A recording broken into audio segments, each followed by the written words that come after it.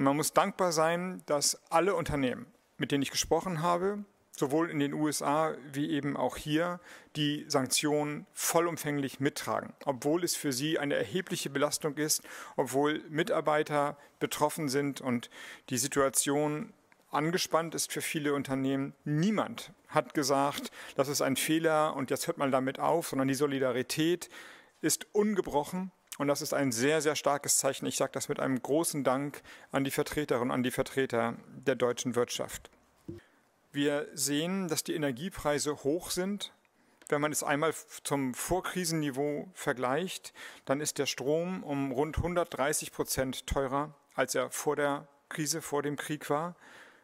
Gas um 100 Prozent teurer, Kohle um bis zu 200 Prozent teurer und Öl über 35 Prozent teuer. Das werden wir in den Verbraucherpreisen und in den Preisen für die Industrie, für die Wirtschaft insgesamt sehen. Ich gehe nicht davon aus, dass diese Preise dauerhaft so hoch sein werden, außer es kommt noch einmal zu erheblichen Abrissen in den Lieferketten für Energie.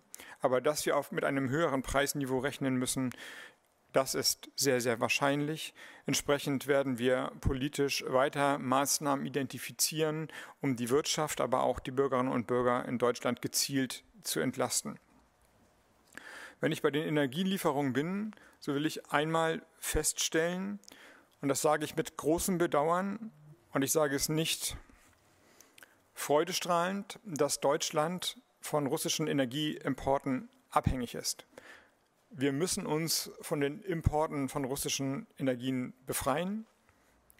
Das betrifft Gas, das betrifft Kohle, das betrifft Öl. Und wir arbeiten mit allem, was wir können, darauf hin. Ich würde mich nicht für ein Embargo auf russische Importe von fossilen Energien einsetzen. Ich würde mich sogar dagegen aussprechen, weil wir damit den sozialen Frieden in der Republik gefährden.